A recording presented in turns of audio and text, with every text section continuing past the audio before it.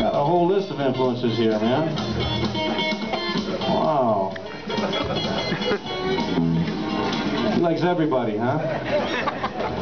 Freddie King, B.B. King, Albert King.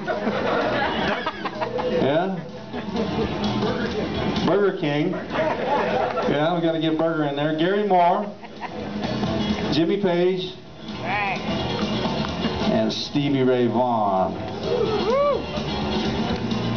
Folks, give it up for Mr. Dillon Brown. He's going to play a little Big Band Blues. Kind of goes like this.